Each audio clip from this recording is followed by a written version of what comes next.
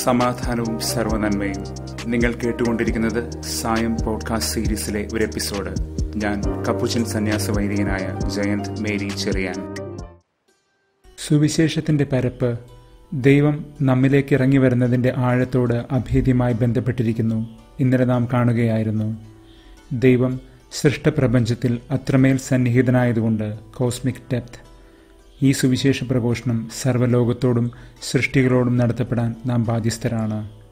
അതിനാൽ നമ്മുടെ അനുരഞ്ജനവും മാനസാന്തരവും കേവലം ഉപരിതല സ്പർശികളായ അനുഭവങ്ങളും പ്രവൃത്തികളുമല്ല. അത് അടിവേരിലേക്ക് തന്നെ നീളണം. നമ്മൾ എവിടെ നിന്നാണോ ദൈവത്തിൽ നിന്ന് അകന്ന് സൃഷ്ടിയെ നശിപ്പിക്കാൻ തുടങ്ങിയത് അതിനു മുൻപുള്ള ആ സ്നേഹ ഐക്യത്തിലേക്ക് നാം എത്തണം സൃഷ്ടിയുടെ ആദിമവിശുദ്ധിയിലേക്ക്. നമ്മെ ആ ഐക്യത്തിലേക്ക് തിരിച്ചു കൊണ്ടുവരുവാൻ തന്റെ പുത്രൻ വഴി ദൈവം നടത്തുന്ന നിസ്തുലമായ രക്ഷണീയ കർമ്മങ്ങൾ നാം ധ്യാനിച്ചു വരികയുമാണ്. ഈ പുത്രനിൽ ഉയർത്തവരായ നാം പരിശുദ്ധാത്മാവിനാൽ ജീവിക്കുന്നവരായ നാം വരാനിരിക്കുന്ന മഹത്വത്തെ കാത്തിരിക്കുകയാണ്. നാം സർവസൃഷ്ടിയോടുമൊപ്പം നെടുവീർപ്പെട്ടുകൊണ്ട് വിമോചനത്തിനായി കാത്തിരിക്കുന്നു. സർവസൃഷ്ടികളും നമ്മോടൊപ്പം സ്വാതന്ത്ര്യത്തിലേക്കും ദൈവമക്കളുടെ മഹത്വത്തിലേക്കും പ്രവേശിക്കും. റോമർ എട്ട് പത്തൊമ്പത് മുതൽ ഇരുപത്തിമൂന്ന് വരെ. ഈ നെടുവീർപ്പ് എന്ന വാക്ക് ഓർമ്മിച്ചു വച്ചിരിക്കുക. ഇന്ന് സുവിശേഷത്തിന് നാം അത് കാണും. ഒന്നാം വായന ഏഷ്യ മുപ്പത്തിയൊമ്പതാം അധ്യായം നാല് മുതൽ ഏഴ് വരെയാണ്. തന്റെ ജനത്തെ ഞെരുക്കുന്ന ജനതകളിൽ നിന്ന് അവരെ വിമോചനം നൽകി ദൈവം ഉയർത്തുന്നു. ഈ ദൈവം അതിനാൽ അവർക്ക് ആനന്ദ കാരണമായി മാറുന്നു. ഈ വചനഭാഗം വിവരിക്കുകയാണ്. പ്രപഞ്ചവും സൃഷ്ടിയും സൗഖ്യം പ്രാപിക്കുന്ന മാതൃകകൾ അണിനിരത്തിക്കൊണ്ട് മനുഷ്യമക്കളുടെ സൗഖ്യം തന്നെയാണ് ഇവിടെ ഈ പാഠഭാഗം വിവരിക്കുന്നത്. ഭൂമിയോടൊപ്പം മനുഷ്യനും മനുഷ്യനോടൊപ്പം ഭൂമിയും ദൈവസ്പർശത്തിൽ ജീവന്റെ പുതുനാം പുതിർക്കുന്നു കലഹങ്ങൾ തിങ്ങി നിറഞ്ഞ ആ ദേശം ഉണങ്ങി വരണ്ട മരണതലങ്ങൾ ലെബനോനിന്റെയും ഷാരോണിന്റെയും കർമ്മലിന്റെയും പച്ചപ്പണിയുകയാണ്. ഇതുതന്നെ ദൈവം മനുഷ്യനിലും നിറവേറ്റുന്നു. ദൈവത്തിന്റെ മഹത്വവും പ്രതാപവും അഗതികളെ പാലിക്കുന്നതിലും ബലഹീനരെ ഉയർത്തുന്നതിലും കാൽ കുഴയുന്നവരെ ഉറപ്പിക്കുന്നതിലും ഹൃദയം തന്നിൽ ഉറപ്പിച്ച് ഭയപ്പെടാതെ മുന്നേറാൻ തന്റെ ജനത്തെ വിളിച്ചു ചേർക്കുന്നതിലുമാണ്.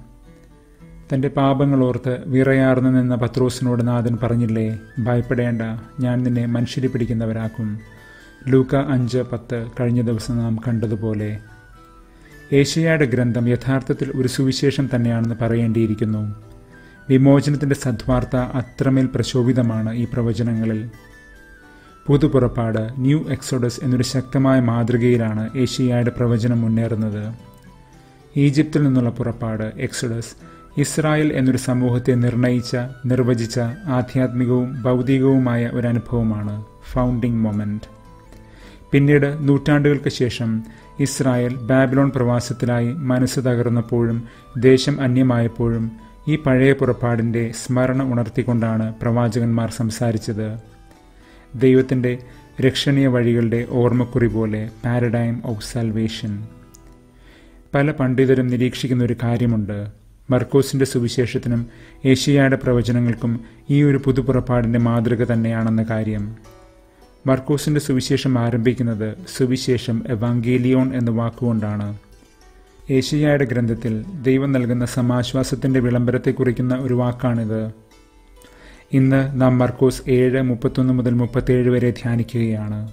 നാഥൻ ഒരു ബദിരനായവന്റെ ചെവി തുറക്കുന്ന ഭാഗം.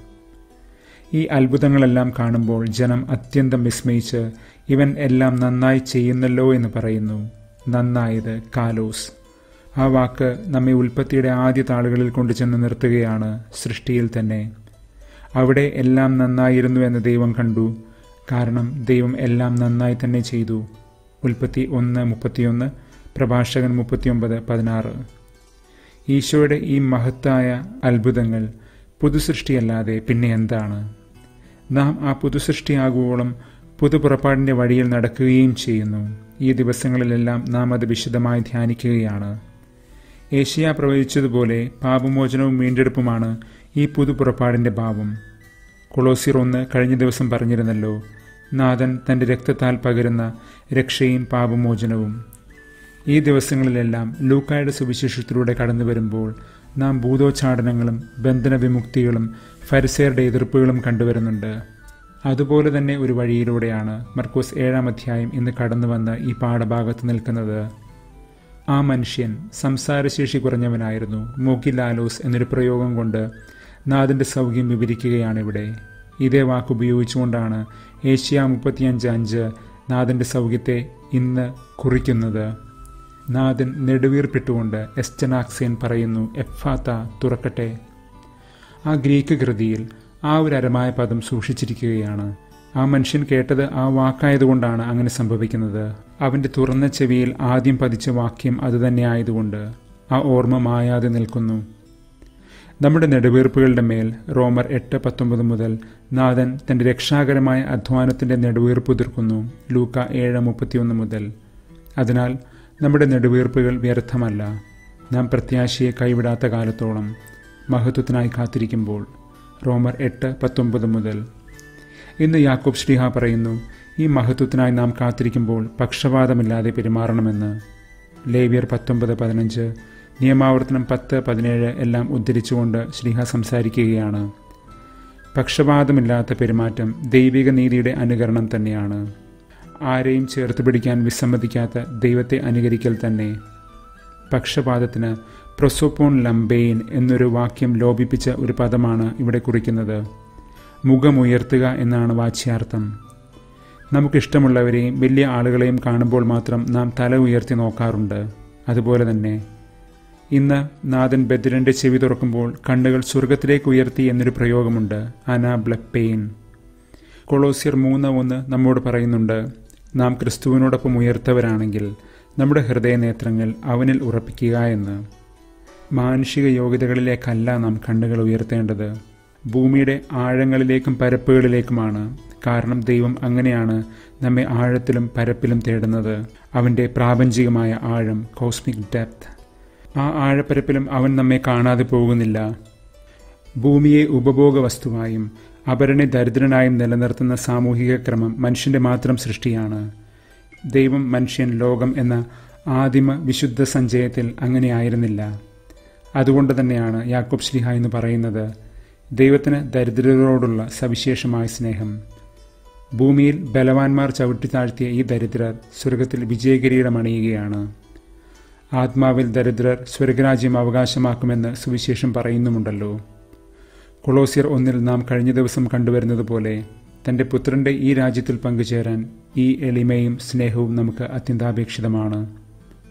ലോകത്തിന്റെ ഈ സാമൂഹിക ക്രമവും സാമ്പത്തിക ശാസ്ത്രവും ദൈവത്തിന് സ്വീകാര്യമല്ല. അവൻ ലോകത്തിന്റെ ആ യുക്തിയെ തകിടം മറിക്കുന്നു ലജ്ജിപ്പിക്കുന്നു. നിരവധി വചനങ്ങൾ അതിന് തെളിവായി നിരത്താവുന്നതാണ്. ചെവി തുറന്ന ആ ബദിരൻ താൻ ആദ്യം കേട്ട ആ സ്വരം എഫാത്ത മായാതെ ഓർക്കുന്നത് പോലെ ഇസ്രായേലിന്റെ ഓർമ്മയെ തൊട്ടുണർത്തുകയാണ് ഇന്ന് സങ്കീർത്തനം നൂറ്റി നാൽപ്പത്തിയാറ് മണ്ണ് ആദാമായും മനുഷ്യൻ ആദവും അലിയുന്ന ഒരു ആദിമ ബന്ധം കൂടിയുണ്ട് ഇതിന്. സൃഷ്ടിയിലേക്ക് കണ്ണുകൾ പായിച്ചുകൊണ്ട് ഈ സങ്കീർത്തനം ഇന്ന് മനുഷ്യന് ഒരു വിശ്വാസപാഠം പകരുകയാണ്. ഇവിടെ ഒരു പ്രപഞ്ച വീക്ഷണം കോസ്മിക് ക്ലെയിം ഉണ്ട് അതിനോടൊപ്പം തന്നെ ഇസ്രായേലിന്റെ തനത് ചരിത്രവും ലിബറേഷൻ ക്ലെയിം രണ്ടും പരസ്പര പൂരകങ്ങളാണ്. സർവചരാചരങ്ങളെയും ചമച്ചവൻ തന്നെയാണ്. തന്റെ ഉമിനീർ കലർത്തി മണ്ണുരട്ടി വിരലുകൾ എന്റെ ചെവിയിൽ വെച്ച് അത് ചാരിച്ചുകൊണ്ട് പറഞ്ഞത് തുറക്കട്ടെ എഫാത്ത എന്ന്. അവന്റെ കണക്ക് പുസ്തകത്തിൽ എണ്ണപ്പെടാതെ പോകുന്ന ഒരു കാണാത്തരിയല്ല ഞാൻ. അതിനാൽ അവൻ എന്റെ രാജാവും കർത്താവുമാണെന്ന് ഞാൻ ഏറ്റുപറയുന്നെങ്കിൽ അവനെപ്പോലെ സൂക്ഷിച്ചും സ്നേഹിച്ചും നോക്കാൻ എനിക്ക് സാധിക്കണം. അവനെപ്പോലെ നീതിയിലും ന്യായത്തിലും വിളങ്ങാൻ എനിക്കാകണം. ഇന്ന് ശ്രീഹ പറയുന്നുണ്ട് കേൾക്കുക എന്ന്. ദൈവം എങ്ങനെയാണ് കാര്യങ്ങളെ നോക്കിക്കാണുന്നത് എന്ന് കേട്ടറിയാൻ. കേൾക്കുക. അവൻ തുറന്നിട്ട് നമ്മുടെ ചെവികൾ കേൾക്കുന്നുണ്ടോ?